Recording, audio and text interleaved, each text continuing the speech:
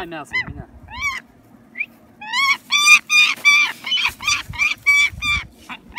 У тебя не мясо.